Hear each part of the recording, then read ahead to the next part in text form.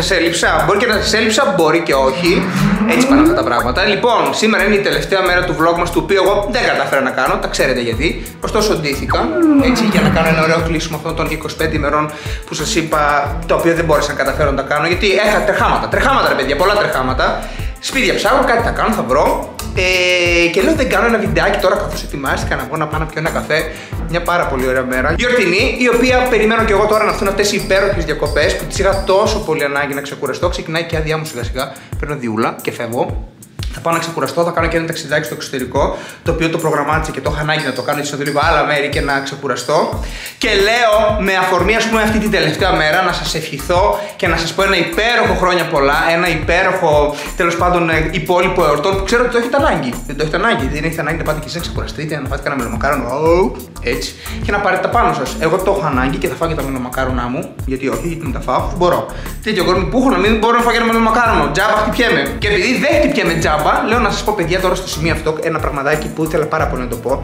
Να κάνω έτσι έναν μίνι απολογισμό της χρονιάς, ένα έτσι μίνι, μίνι, πολύ μικρό, τόσο, τόσο, τόσο μικρό απολογισμό. Και να πω, παιδιά, ότι ήταν μια υπέροχη χρονιά για μένα. Ήταν μια χρονιά η οποία υπήρχαν έτσι τεράστιες αλλαγές για μένα. Είχα τα down μου, όπως σας έχω ξαναπεί και σε άλλα βίντεο, αλλά έχω και τα up μου. Δεν είναι η ζωή μόνο down, είναι και up. Παίρνεις ξαφνικά εκεί που ξαφνικά είσαι χάλια στα πατώματα, δεν μπορείς να πάρεις τα πόδια σου, γίνεται κάτι, κάνει μια τεράστια εκτόξευση και ξαφνικά είσαι καλά και λες εντάξει ρε παιδιά, ό,τι έγινε έγινε, μαθαίνουμε να βάζουμε ωραίες αξιοπρεπείς τελείες στη ζωή μας. Αξιοπρεπείς τελείες στη ζωή μας.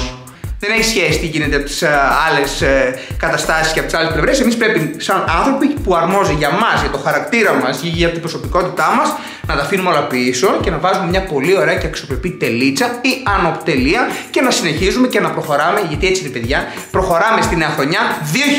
2023 έρχεται, έτσι είναι μια νέο έτος που θέλω και εγώ, αλλά και εύχομαι και εσάς, παιδιά, να σας έρθουν έτσι πάρα πολύ ωραία πράγματα, γιατί ταξίζετε και ταξίζω. Ωραίες αγκαλιές, ωραίοι άνθρωποι έρχονται. Δεν είναι μονόπλευρο τίποτα. Εκεί που ξαφνικά δεν το περιμένεις, μπαπ, σου σκάει κάτι και έρχεσαι και σε μια χαρά και παίρνεις τα πάνω σου και έρχονται και ωραίες αγκαλιές και ωραίοι άνθρωποι. Λοιπόν, παιδιά, σας εύχομαι ό,τι καλύτερο. Είναι ένα πάρα πολύ σημαντικό μήνυμα. Σας λέω ένα μήνυμα ευχών και αισιοδοξίας και σας λέω ότι, παιδιά, μην το βάζετε κάτω, να διασκεδάσετε αυτές τις γιορτές γιατί είναι πάρα πολύ σημαντικό να διασκεδάζει ο κόσμος.